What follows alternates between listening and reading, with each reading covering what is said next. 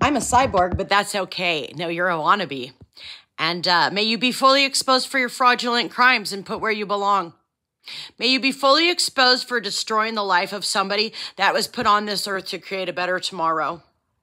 May you stop being a doppelganger copycat. May all your dark energy, dark intent, dark deeds done to somebody that doesn't even know who you are be exposed. May all your federal crimes be exposed. May all your secret contracts be exposed. May all the hits you took out on someone's life be exposed. May all your uh, connections you think you have be exposed. May you all be exposed. Go ahead, nail her to the cross. Didn't that backfire last time? Yeah, I'd say so.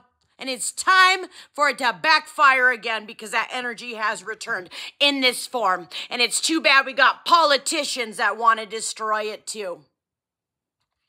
Be exposed, all of you.